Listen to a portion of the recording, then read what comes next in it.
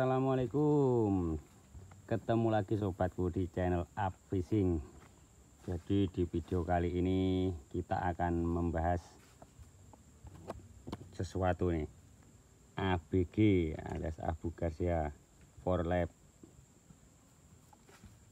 Jadi ini kita di spot mancing ya. Nah, Mudah-mudahan sobatku semua selalu dalam keadaan sehat. Tidak ada kurang suatu apa pun dan selalu dimudahkan rezekinya sekeluarga. Amin. Untuk pertama-tama kita akan membahas Abu Garcia Pro Max. Bukan review ya, dibahas saja sedikit. Kalau review kurang paham. Nah, seperti ini. Ini sudah kita pakai beberapa kali nih, tapi belum ada diterangkan sedikit-sedikit. Nah, ini kita mau terangkan sedikit bagaimana? Kenyamanannya seperti apa ketika dipakai? Dan setelah saya pakai itu ternyata ya hampir-hampir mirip saja. Kelebihannya harganya beda. Agak mahal. Nah, nanti saya terangkan harganya. Nah di bagian depan ya maksudnya di thumbnailnya nanti saya kasih harganya satu persatu. Sekitaran itu. Ini real satu jutaan gitu kan. Yang Kenji Maruti ini 400 ribuan. Ya, sudah mantap juga nih. XT18 nih. 6.3 banding 1 gear rasionya ya. Untuk bal bearingnya 9 plus 1 seperti ini. Nah, untuk Abu Garcia Pro Max nya ini. 7 ya 7 banding 1 tuh. 7.1 banding 1 mantap sekali rasionya ini. Handlenya lebih pendek beda sedikit. Hmm, cuman ini untuk membuka PE nya ini kancingannya ini lebih ringanan Kenji ya nah seperti ini. Nah, ini sudah ada sedikit unboxing atau reviewnya. Videonya nanti saya sertakan ya di pojok kanan atas itu.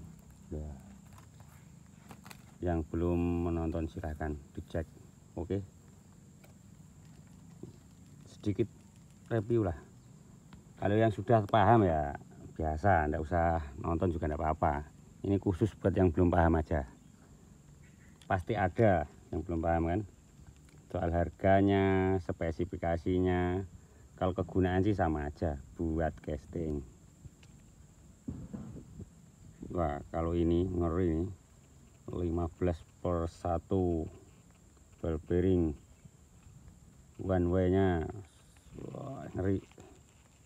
Untuk bearingnya yang di sini cuma satu juga intinya nah seperti ini. Ini murah sekali nih. 100 ribuan. Onyx Elito. Sistem pengeremannya ya sama. Pengereman spool kan.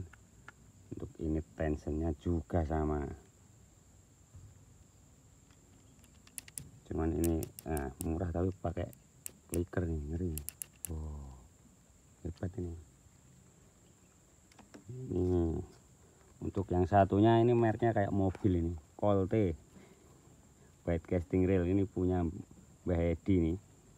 Nah one way clat bahasa Inggris mungkin ya. Kurang paham juga ini. Modelnya seperti ini handlenya separuh. Lah Colte 10 plus 1 10 plus 1 ball bearing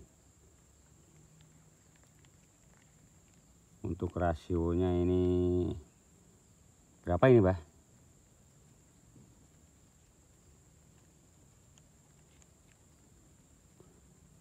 Colte Tornado rasionya di mana ini pak?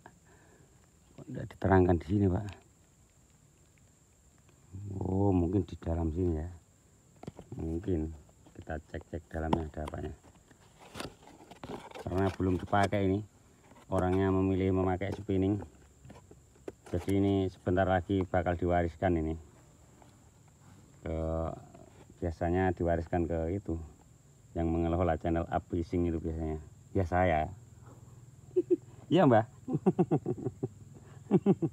Tidak lama biasanya. Orangnya tidak bisa pakai aja beli ya kan? oke nanti kita coba satu persatu. Kalau ini sudah saya coba sudah dapat ikan untuk pengetesannya itu di danau kanaan itu itu sudah dapat berapa ekor itu?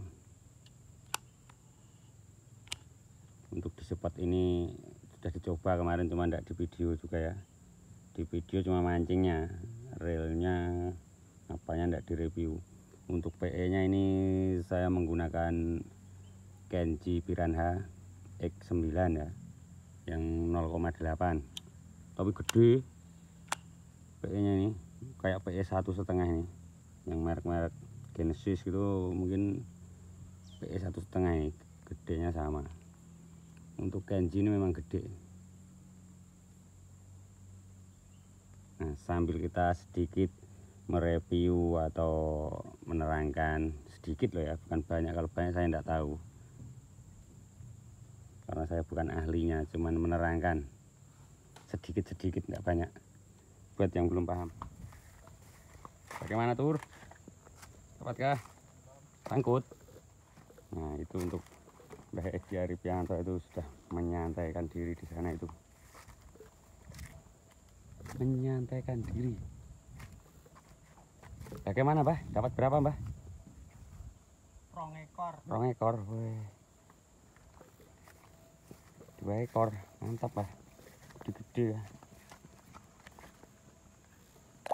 Uh. Ini dua ekor aja ada dua kilo ini. Mantap. Mantap jiwa mempesona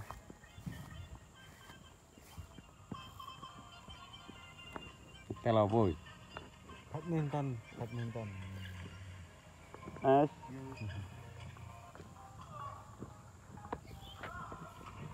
burung tani kita berangkat curi gambarnya dari belakang. Oke tak colong sedikit. Oke bosku. Wassalamualaikum warahmatullahi wabarakatuh